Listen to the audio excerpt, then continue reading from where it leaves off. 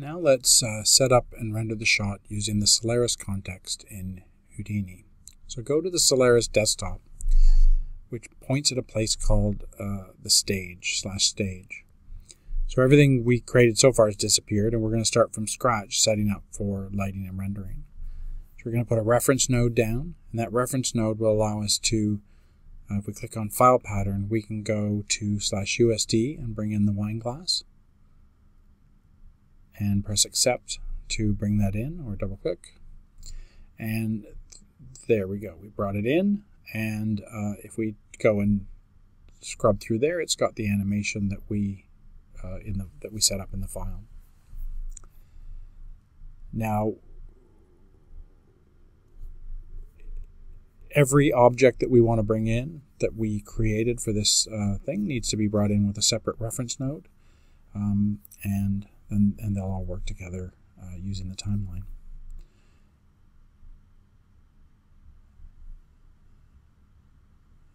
Now the primitive path, what we're going to do is where does this go inside um, Solaris? You have what's called the scene graph, and you can decide where that goes. So we're going to go put a primitive path of slash geo slash os. So slash geo, uh, sorry, spell that right, uh, is the is where we set up, and there's reference one. Reference one being the name of the file, slash OS is the name of the node. So if we change that to wine glass, then that becomes geo wine glass, and that's going in the scene graph. And everything you bring into Solaris gets converted into what's called USD, the Universal Scene Description file format, uh, and the scene graph lets you see what that what that entails. So the wine surface, we're going to replace that, and we're just going to call this wine.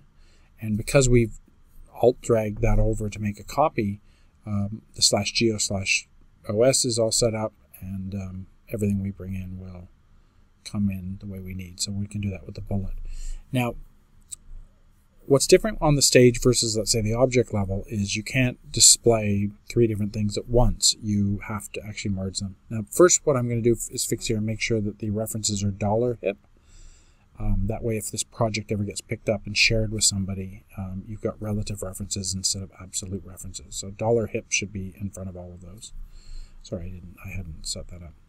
So put the merge down, and uh, now we can merge those three together. Set the display flag, and now we go forward in time. The bullet moves. The liquid's there. The, the glass is there. Everything's working together and you can see them all here in the scene graph in the in the appropriate place. So the next thing we, we want to do is add um, a backdrop. So we're just going to put a grid down. Going to call that backdrop and feed that into the same merge node. And that will allow us to get an extra piece of geometry. Now, because it's selected, the, the scene graph only shows us um, that particular piece right now. Um, but we can go in and slash geo slash os and it becomes part of that collection there. If we double click into the into there, what you can do is we can set this up to be a better backdrop, make it a little bigger, uh, have it bend a little bit. So we're going to go 200 by 200 uh, for the size of the grid. Uh, we're going to add more rows and columns, so 20 by 20 and then we can right click on here, type bend, and add a node for bending that. So to get that to bend, we can simply use the bend of, let's say, 75. Now it's not going in the right direction for us right now, but we can fix that. And what we'll do is go way down here to the capture origin. We're going to go negative 40